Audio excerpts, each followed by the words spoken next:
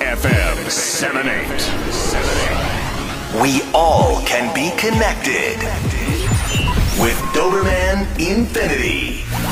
皆さんこんばんはドーベルマンインフィニティです。ジュースですリチョです。和樹です。はいということで今週も始まりました僕たちドーベルマンインフィニティの We All Can Be Connected この番組は音楽を通じて様々なアーティストとつながるのはもちろんいただいたメッセージを通じてリスナーの皆さんとつながっていくつながろうをテーマにした番組です本日も Google Meet を使用してテレワークで収録しております。ということでえっ、とあさってえー22日火曜日アベマ LDH 祭りの、えーまあ、ライブオンラインですね、えー開催ということで、えーもうあと2日後になりました。2日後。はい。おえー我々も、えーリハーサル、そして、まあ、えっ、と、皆さんにね、こんな内容しますよっていう、まあ、うん情報解禁も含めて、うん。ここ最近はずっとね、インスタだったり SNS を盛り上げてきたんですけども、はいはい。皆さんには伝わってるのかな、これはね。ですね。はい。えっ、と、まあ、その、今回のね、ライブオンラインの中でですね、D アイランド2020をささやかながら開催するというところとですね、はい。えーとまあ、その、まあ、D アイランドということで、まあ、うん D アイランドならでは、まあ、今回は、えっ、と、たくさんのアーティストの方々に来ていただくことができないので、まあ、はいドーベルマンインフィニティの中でできる D アイランドを、うんえーぜひ表現したいなということで、えーはいまあ、画面を通して感じていただけたらなと思います。はいはいうん。ということで、はいまあ、今回はですね、えっ、と、はいまあ、ドーベルマンインフィニティ5人で表現できる D アイランドということで、まあ、スウェイとカズキに関してはね、はいはい。えーソロパフォーマンスもやっていただきますが、うん。。はいい。どうでしょそうですね。まあ、あのー結構、皆さんからメッセージとかで、この曲、あの、聴きたいとか、なんかもうちょっと、あの、フルでないのみたいなやつ、結構いただいてる曲をやります。うああ、なるほど、なるほどね。やります。なんか尻つぼみ。うん。はい、やります。はい。まあでも、あのー、T アイランドでしか僕の場合だと、あのー逆に、あんまりそういう機会がないんで、まあ自分もすごい、あのーソロでやらせてもらえるとありがたいことなんで、すごい、あの、楽しみですね。なるほど。はい。ね。はい、ということで、まあ、あのね、まあ、ライブオンラインなので、はい。まあ、本当にあのマックスね、その、んいつもの D アイランドってすごい時間長いじゃないですか。まあ、ある意味半日やってるまあ感じでけども。はい。まあ、それはね、物理的にできない部分もあるんですけども、はいはい。まあ、その中でも、あのまあ、できる限りの D アイランドを感じていただこうということなので、ぜひ皆さはいんその辺を考慮して見ていただけそうですねたらな。うちわの準備とか。かもね、していただいてね。はい。そうですね。うちわも、えー皆さんに届くように、はいえーダウンロードできるようにはいさせていただいておりますので、はい。えーその辺もね、含めて楽しんでいただけたらなと思います。はい。じゃあ本日も行きましょはい、えー、本日のオープニングナンバーです。ドーベルマンインフィニティで、インフィニティーズ。Yeah. お送りしたのは、インフィニティーズでした。We all can be connected. Doberman Infinity. う。さて、今夜の WACBC はこちらの企画をお届けします。DI ポッドプレイリスト。はい、ということで。はいえーまあこれね、うんもうね、なかなかね、やっぱね、こう、もう何年もやって、やってるとちょっとネタもないし。そうです。だか、ら、多分ネタがないんですけど、多分キャラも変わりたいな、ちょっと。あの、他の人のやつもちょっと聞きたい。だって、これなんかスウェーンさんいないと僕に、だあのね、そうね、そうね。で、繰り上がりでこうなっていくっていううのね。ん。そうやな。だから、和樹が2番手ってことなんやろうな。そういうことですよね。うん。だから、だから、もうこれ、あの、ジングルにしてもらった方がいいんじゃない？うん、ジングルの方が助かるんですよ。強いよね。恐怖ですから、これに関しては。はいはい。そうだね。なんかいつもハードルをこう、なんかかけさせられるところですね。そうそうそうそうそう。はい、ということで、はいこのコーナーはですね、番組が選んだ選曲テーマに合わせてメンバーが R&B ヒップホップアーティストの曲をシチュエーションとともにご紹介します。はい。えー、今夜はまたね、このテーマが面白いんですよ。今夜のテーマはこちらです。かずきお願いします。えー、今夜のテーマは、バス旅行のお供に聴きたい曲です。はい、ということで、今このねバス旅行ね。まあ、あのーまあ、GoTo キャンペーンがですね、ああ、よく耳にしますね。うんはい、うんあの、東京が、まあ、あの、入るということと、あと、はいはい今日9月20日はバスの日ということで、まあ、有名ですよね。そういうことなんや9月20日その、その理由にちなんでくださってるんですよ、なるほどなるほど、なるほど。うん。はい、ということで、今ね、えっ、と、GoTo トラベルキャンペーンで国内バスツアーもかなりお得らしいです。ほうほうえー旅行代金の最大35%割引、15%を旅行先で使える地域共通クーポンの配布とほうほう。いうことで、日帰りツアーは安いと2000円台から行けるプランもあったりだとか、ええはい。で、この後ね、10月1日以降には東京除外も解除される予定ということで、えなるほど。まあ、あのーこれよく分かってへん人も多いと思うし、実際これ使ってる人、あんまり耳にしたことないねんけど。う。うんんうん、そうですよね。え、でもそうです35%割引って相当お値打ちですね。うんお値打ちお値打ち。お値打ちっていうかお得ですよね。はいあのーでも聞いたところによると、地方でね、あの、実際友達で、はあの、GoTo キャンペーンを利用して、ホテルに泊まった人は、いはいなんぼっつ半額ぐらいに近いぐらいは勢いで割引されてるんですよ。それはいいことですね。そう、だから今例えばやけど、まあ、なかなか普段やったら泊まれへん、はいはあの、高い、いうことか宿とかは、まあ今のタイミングで泊まるのはチャンスかもっていうい。そういうことなんですね。のがあったりだとか、うん。な行けたらいいけどね。まあそうですよね。まあそうですね。うんなかなかねどうなんでしょうねとはいえ、このキャンペーンをやっていただいたからといって、最高っていう感じの雰囲気でもない世の中ですもんね。そうまあそうだから、こういうのやるんでしょうね。まあまあまあ、このね、紅葉の秋ということで、ああ、そうですね。ぜひ皆さんね、あの、ちょっとその辺に気をつけながら、羽を伸ばしていただけたらなとうん。思います。そんな時にね、僕たち聞いていただこうという今回の選曲テーマなので、はいはい。えーはい行ってみたいなと思います。それではまずは、ちょうちゃんですかね。はい。えー、私のバス旅行のお供に聞きたい曲は、コーデ featuring Roddy Ricch で Gifted。お聴きいただいているのは、 Cordae featuring Roddy Ricch で Gifted です。はい、ということで、はい。えーこちらはどんな曲となってますか？はい。えー、選曲、いつも僕、あの、乗り物に乗るときですね、うん。あのープレイリストがあるんですよ。はい。要はその、日々こう、曲をチェックしてて、新譜をね、あの、うんはい。自分の中でいけてる新譜をこう、まあ、ックして集めるはい。プレイリストがあって、うん。で、まあ、あのーまあ、このあのバス旅行っていう中で、まあ、今一番こう、いけてる新譜から聞くこともあります。あ。の、時には。だから、はいはいあの、アッシャーの新曲とかよく、よかったです。はいはいハビッツよかったですね。めっちゃすごく良くて、まあ、あの、またコンピューターラブのネタが3分ぐらいから入ってくるあれ、はいはいはい。にしようかなと思ったんですけど、ちょっとリアルに、あはいの乗り物乗るときって結構その僕のプレイリストをシャッフルするんですよ。はいはいはい。シャッフル再生するんですね。はいはいはい。で、シャッフル再生ししてみたんですよ。このテーマが来たときに。で、1曲目これになったんですよ。あ、そういうことなんはい。ですね。なので、あ、これかなっていうので、あの、うんしかも、これ収録あれじゃないですか。大坂なおみ選手が優勝したはいはい翌はい。日で、このはいコーデというラッパーはですね、はいあの、はいはい大坂なおみ選手の彼氏なんですよ。彼やもんね。はい、はいはななんかすごいこうタイムリーに来たなっていうので、なるほど。はい、すそうごいなんですよ。しっかりとした理由ですね。そうなんです、そうなんです。はい。はい。ちなみに、まあなる、ほどちょうちゃんがもしバス旅行で行くなら、うん。どこに行きたいですか？バス旅行か。僕、特にや山に行きたいですね。あーまあじゃあ特に、あ都会じゃなくて。あここっていうとこではなくて。なんかなんかおすすめの山あります？えー、どうなんですかね紅葉が例えば綺麗なところがさっき言ってたような。日光、栃木のあ、日光とか。あの、そういうところで行きたいです、行きたいです。ああ、なるほどそ。れは日帰りで行けるのかね？日帰りで行けんじゃないかな。行けるかなじゃあ日帰りとかうんバスで行けたらいいかな。で、ちょっとなるほど美味しいもの食べて帰ってくるっていうなるほど、なるほど。はいいいですね。は。あ、ないるほど。なるほど、わかりました。うん。はい、ということで、えー、ちょうちゃんが紹介してくれました。はい。続いて紹介するのは僕 GS です。えー、僕が紹介する曲はビッグショーンで Guard Your Heart フューチャリングアンダーソーパークアーリーマックワーレイ。お送りしているのはビッグショーンで Guard Your Heart フューチャリングアンダーソーパークアーリーマックワーレイです。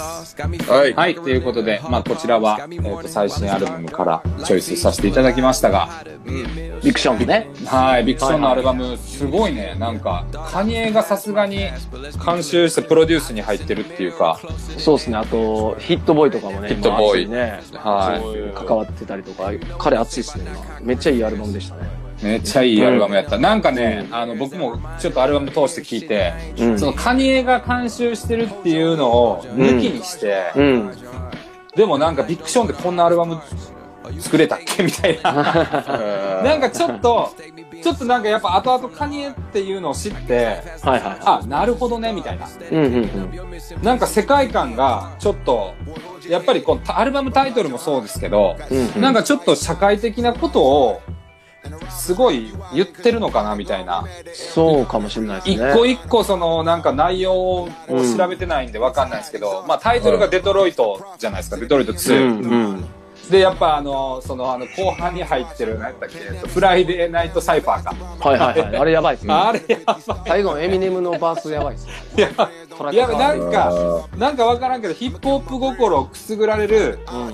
なんか要素がこのアルバムの最初から最後にすごい詰め込まれてて、すごい意味あるなんかよね。そうそうそう。なんか最初聞いた時に、あこんな感じのアルバムかって1曲目でちょっと思ったんやけど、どんどんどんどん聴いていくうちになんかどんどんどっか懐かしくなってくるというか、ニプシーハッスルもちゃんとね、フューチャリングしてそうそうで、なんかこう、あの、ちゃんとインタールードもなんかいっぱいところどこた、ろエリカ・バドゥが そうそうそう。エリカ・バドゥが来てたりとか。して多分メッセージやって曲ってとかすごい構成すごいんだと思うんですよこれ。そうやね。なんで、なんか間のそういうことか。なんて曲やったっけ？えっと、あの曲も超良かった。ハーダンザンマイあそうっすねそうっすね。そうそう。うんハーダンザンマイデモンズレモ。ンズなんかな。うんこの曲も曲やばいね超良かった。うん。うん。ネタ感ある感じ。そう。で、これなんかビギーのフレーズ使ってるところあっそうね後半ね。3そう。番やばいね。そあのあれはやばい。やられた。そう。うん。だからなんかこう、なんかこう聞いてて、常になんか、パッてさせられるううん。ん。要素とかがすごい、ヒューマンネイアルバムチャーのネタも入ってたしね。そうそうそう。ミルウェイのやつとか。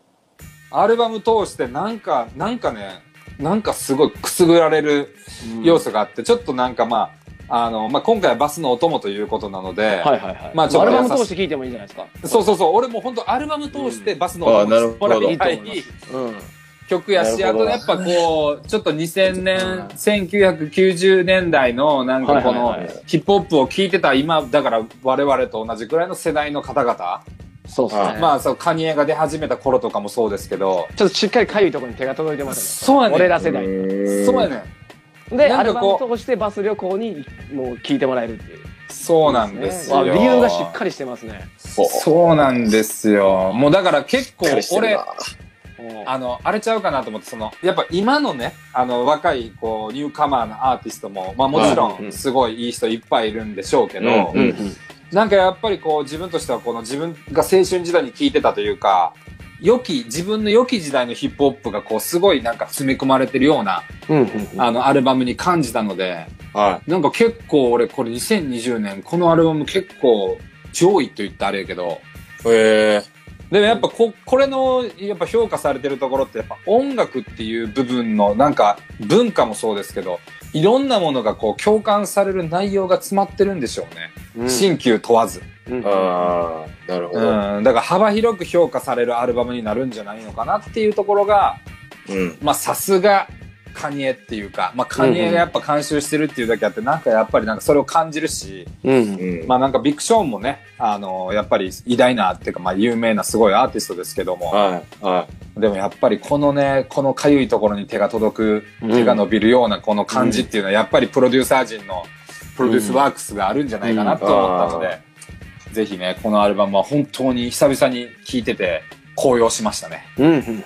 なのでおぜひ、この曲もそうですけど、このアルバムもぜひチェックしてもらえたらなと思いますね。はい、はいということで、じゃあ続いていきましょう。続いては和樹が紹介してくれます。い。はい。えー、続いて紹介する曲はこちら。 John Legend で、えー Actions。お送りしているのは John Legend で、 Actions です。はい、ということで、もうあれ、もうこれ和樹の好きがいっぱい詰まった一曲じゃないですか。いや、そうまあそうよねほんとそうなんですよ。なんか、なんか僕もあの、最近いろいろこう聞いてても、なんか、あの、ドンピシャがあんまりななかったりとかして、うんでもまあこれは来ましたね。なんか、この、あ、ネクストエピソードこんな R&B 調にめちゃかっこよくなるんや、みたいな感じうんが、すごいびっくりしました、これ聞いて。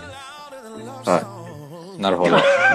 だからまあ、そのバス、うんバス旅行っていうか、大丈夫これあの、首を縦に振ってていいの？あの、インパラ乗ってんで大丈夫。そうまずこれだからバスっていうか、インパラじゃないかな。いやいや、ロスとか、あの、あっちのアメリカのあの学生とかバスの中でなんか、あの、ヘッドホンして聞いてそうだなああ。なるほどね。そのバス跳ねてないから、晴れてない。和樹が乗ってるバスは。大丈夫？いや、晴れてないですけど、跳ねてない？いや、でもなんか、僕あんまりこう乗り物乗るときに、ものすごい速いアップテンポを聞かないくて、結構こうゆ、ゆるい感じのやつが好きなんですよ。なるほど、なるほど。はい。まあそういった意味でも、うんまあ、すごいあの、正当な理由としてこれは提出しようかなと思いました。はい。なるほど。いや、そうそう、まあすごいね難しいですよね、バスの、あの、理由っていうのは。はいはいはい。まあでも、あの、ドライブソングというところでの位置づけで選曲したという。そうですね、僕はイメージありますよ、ドライブソングのイメージは。で、はいまたそのドライブソングという意味では、ネクストエピソードっていうのは、やっぱりこうね、やっぱあの、車文化のはい西海岸サウンド。うん。うん。で、そこにあの、ねまあ、あの、ジョン・レジェンドというはい。大シンガーが乗っかって、はいは完璧っすね。い。いや、完めちゃかっこよかったわ、これは。もう100点満点じゃない？いやいや、もう最高でしたね。久々にがっつりハマりましたね、これは。なるほど。うん。じゃあ、まあ、和樹が、あの、はいまず、このバス旅行ということで、あんまりなんかバス旅行してるイメージ全くない。ないよね。ないないない。ないけど、まあ聞いてみましょうよ。うん、まあ、和樹が、はい。どう？バス旅行するなら、まあ、どこに、誰とどこに行きたいってある？誰と、誰と、じゃあ、二人で、ちょ、これもうほんと究極の選択論やねんけど、え、はいはい。あの、まあ、メンバーじゃなくてもいいよ。はいメンバーじゃなくてもいいけど、はい。二人っきりでバス旅行に行けるとしたら、誰とやったら行ける？え？誰とやったら行けて、どこやったらい、誰とどこに行きたいってある？例えば地元の何々くんとかでもいいねんけど、はいその理由も含めて聞きたいのよ。誰とどこ？うんうん。バス旅行、バス旅行。お前一応これオンエアされるから、俺だけは避けとけよ。お前怪しまれるから。いや、別にいいのよ。別に張張ささんと全然いいのよ。な、あや、もう、その怪しまれるからね。ただなんか、張さんと行きたい理由として、いや、まはいあ単純に好きだからですね、とかはちょっとまあ、あの、怪しまれるそうだけど、そうっす。まあなんかちょっと音楽の話をしながら、うんゆっくりバス乗って、まあ、だらっと、張さんだったら気使わなくてもいいんで、とかやったら、その理由はそ分かってるのちゃんと理由がある上での、あその、はい選択をしてほしいっていう。そういうことっすよね。うん。いや、でも、あれじゃないですか、やっぱ、お母じゃないですかね。あ、お母さんと。ああなるほど、なるほど。やっぱり、あのーこう、なかなか、そう、二人でこういう、行くっていうのは、やっぱうん男って、ね、なかなかそう恥ずかしかったりとかするじゃないですか。まあねそうね、ままあ誘うのがね。そう、まあ僕ももう30になるんで、来年。うん。まあちょっとそういうのも、あの、もし帰ったりとかしたら、まあバスかちょっとわかんないですけど、まあいろ、うんなんかちょっと山、それこそ山の方とか、なんか綺麗な、静かなとこ、はドライブとか行きたい。いなみたいなのはありますよね。で、お母さんと旅行しながらこれをかけんの。あ、もうこれでもう二人で。はい。お母さんも首縦に振り出す。売るね。はい、振ります、そこは。むしろ、和樹に熱弁で、これいいよね、和樹って熱弁してくるかもしれない。あり得るかもしれないです。うん。なるほどね。はい。ということで、まあ、100点満点の答えありがとうございます。ありがとうございますはい。はい。はい。ということで、今夜はですね、バス旅行のお供に聴きたい曲をお送りしました。We all can be connected with Doberman Infinity.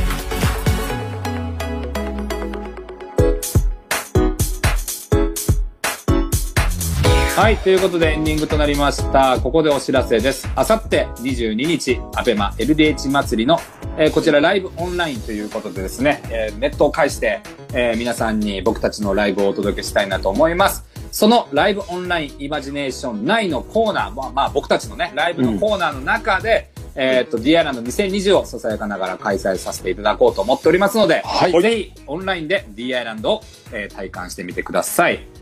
はい。そして、えー先日ですね、新曲、はいガッチだぜのミュージックビデオを公開させていただきました。はい。えーまあ、こちらはね、まだリリースということではなくてですね、えーとはい YouTube でミュージックビデオを見ていただいたり、まあ、うん TikTok でね、選曲もしていただけるようにはなっておりますので、はい。えーぜひですね、えーそんな感じでガッチだぜを楽しんでいただけたらなと思いますので、よろしくお願いします。はい。番組では Twitter や Facebook もやっています。Twitter はハッシュタグ、ハッシュタグ WACBC をつけてつぶやいてください。Facebook では番組のお知らせなどアップしています。BayFM、Be All Can Be Connected で検索してみてください。はい、ということで、えーっと、まあね、今日も、えーっと、リモートでお届けしてきましたが、はいえーっと、エンディングで一通ですね、えーっと、メールを読ませていただきたいと思います。はい。えー埼玉県はリリさんからいただきました。ドーベルの皆さん、こんばんは。こんばんは。こんばんは。D アイランド2020開催決定とても嬉しいです。今年は海やプールにも行けず、居酒屋エグザイルもなくてあまり夏を感じられなかったので、D アイランドやってくれないかなとずっと思ってました。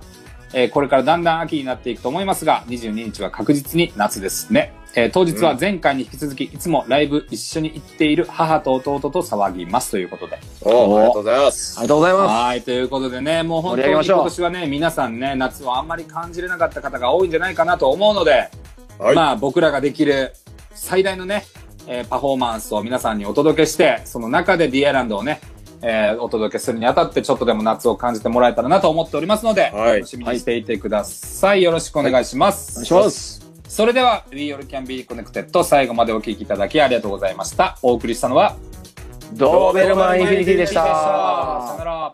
さよなら。